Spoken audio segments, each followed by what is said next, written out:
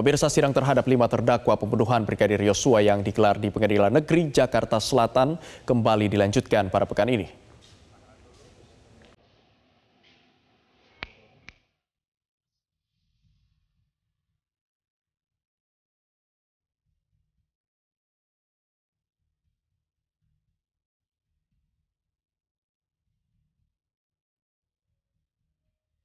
Pemirsa sidang diawali pada hari ini, Senin 13 Februari 2023 dengan agenda pembacaan vonis terhadap dua terdakwa, yakni Ferdi Sambo dan istrinya Putri Chandrawati.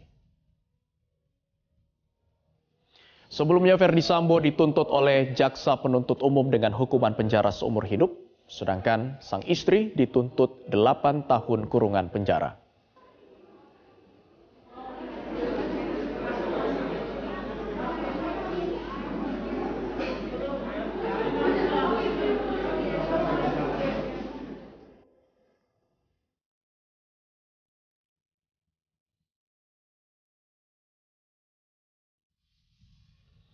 Sementara itu pemirsa, pada besok hari Selasa 14 Februari 2023, sidang dijadwalkan dengan agenda pembacaan vonis terhadap dua terdakwa yakni Riki Rizal dan Kuat Maruf yang keduanya sama-sama dituntut 8 tahun kurungan penjara.